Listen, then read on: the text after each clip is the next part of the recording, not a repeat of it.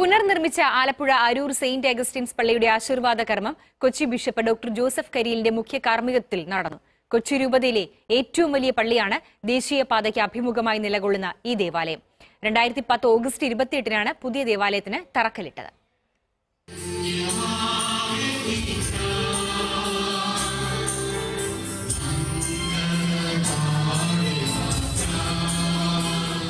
കൊച്ചി രൂപതയിലെ ഏറ്റവും വലിയ പള്ളിയാണ് ദേശീയപാതയ്ക്ക് അഭിമുഖമായുള്ള അരൂർ സെന്റ് അഗസ്റ്റിൻസ് ദേവാലയം. കൊച്ചി രൂപത മെത്രാൻ ഡോക്ടർ ജോസഫ് കരിയിലിന്റെ മുഖ്യ കാർമ്മികത്വത്തിലാണ് പുതിയ പള്ളിയുടെ ആശീർവാദ കർമ്മങ്ങൾ നടന്നത്. വികാരി ഫാദർ ആന്റണി അഞ്ചുതൈക്കൽ അടക്കമുള്ള വൈദികർ സഹകാർമ്മികരായി. രണ്ടായിരത്തി ഒരുന്നൂറ്റി അൻപത് കുടുംബങ്ങളാണ് അരൂർ ഇടവകയിലുള്ളത്.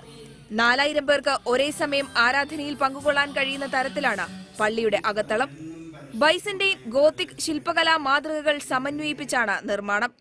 ബൈബിൾ സംഭവങ്ങൾ വ്യക്തമാക്കുന്ന സ്ലെയിൻ ഗ്ലാസുകളും സ്ഥാപിച്ചിട്ടുണ്ട്.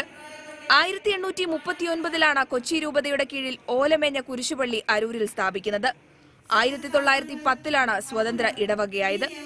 രണ്ടായിരത്തി പത്ത് ഓഗസ്റ്റ് ഇരുപത്തിയെട്ടിന് ഇപ്പോഴത്തെ കൊച്ചി മെത്രാൻ ഡോക്ടർ ജോസഫ് കരിയിലാണ് പുതിയ ദേവാലയത്തിന് തറക്കല്ലിട്ടത്. ആശീർവാദ കർമ്മത്തിന് ജനപ്രതിനിധികളും വിവിധ മേഖലകളിലെ പ്രമുഖരും അടക്കമുള്ള വിശ്വാസ സമൂഹം സാക്ഷിയായി. പള്ളി നിർമ്മാണം നടക്കുമ്പോൾ തന്നെ നിർധനർക്കായുള്ള ഏഴ് വീടുകളും പൂർത്തീകരിച്ചിരുന്നു. മനോരമ ന്യൂസ് ആലപ്പുഴ.